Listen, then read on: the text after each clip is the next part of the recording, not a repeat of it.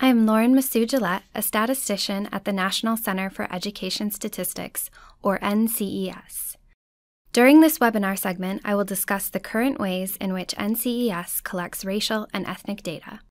Then, I will provide examples from a few of our key reports that show some of the ways we present the data by race and ethnicity.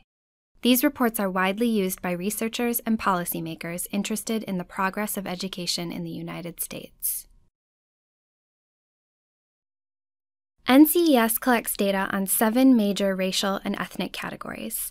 The race and ethnicity groupings are designed to be mutually exclusive in all of our published materials.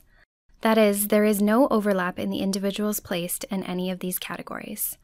For example, someone who reports as a white Hispanic would only be included and reported in the Hispanic group.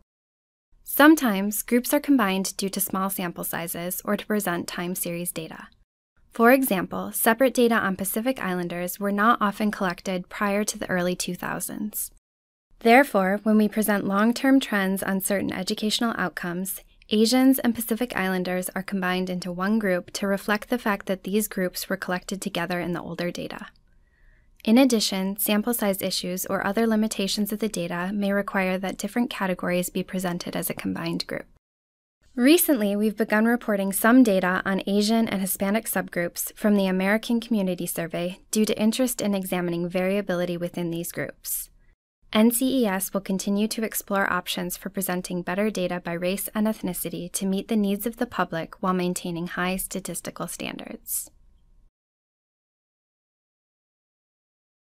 One of the primary NCES sources for data by race and ethnicity on a wide variety of education topics is the Digest of Education Statistics.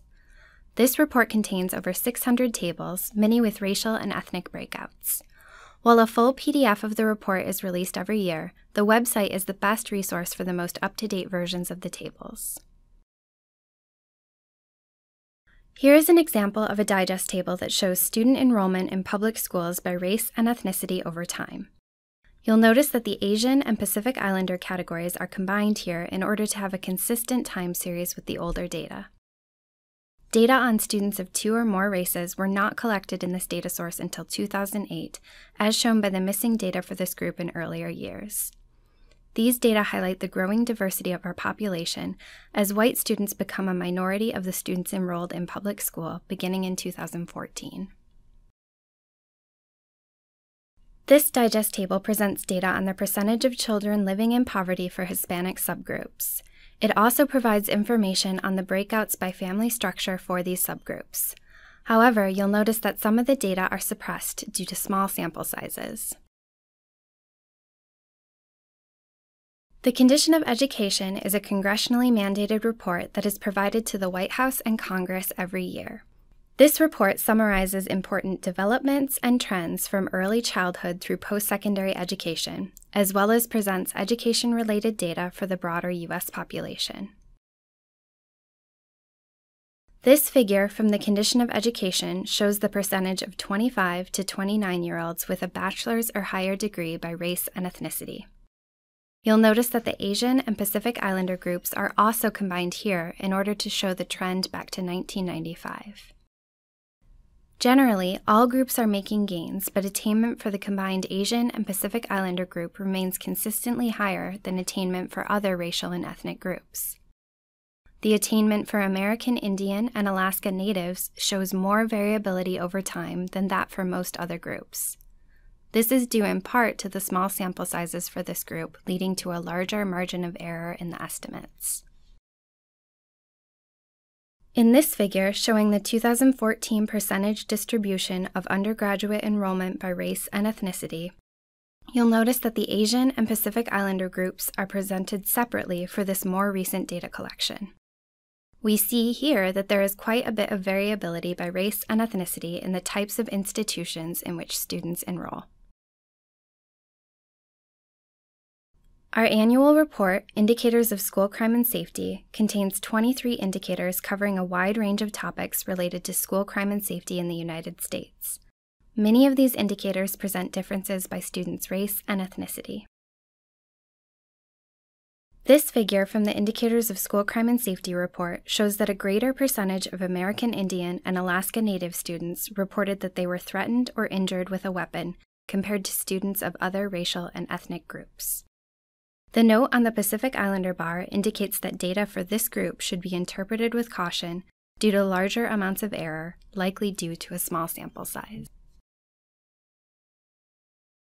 Finally, the report on status and trends in the education of racial and ethnic groups is the major publication where NCES reports educational data for students of different races and ethnicities. To the extent possible, this report attempts to give a more nuanced picture of differences by race and ethnicity by presenting this data in combination with other demographic characteristics, such as gender or age. Additionally, this report presents data on Hispanic and Asian subgroups for a number of the indicators.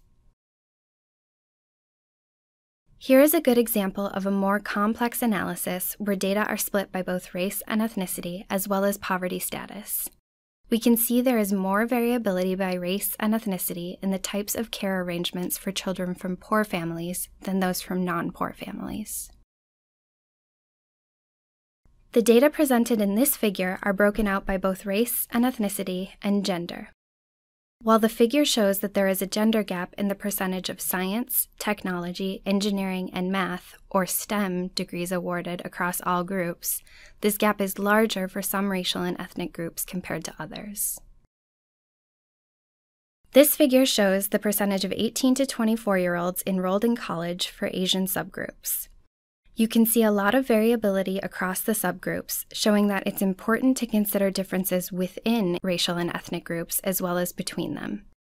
Due to limitations of sample sizes, this level of detail is only available from a very limited number of federal surveys.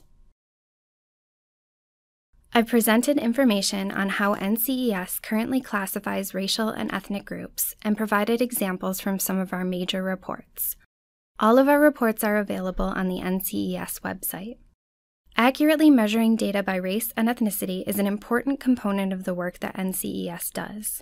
Practitioners and policymakers need to know how different students are performing in order to make informed decisions about the best ways to support education for our nation's students. NCES continues to address challenges posed by changing demographics and evolving policy needs with respect to race and ethnicity data while at the same time ensuring that survey procedures and analytic designs meet high statistical standards.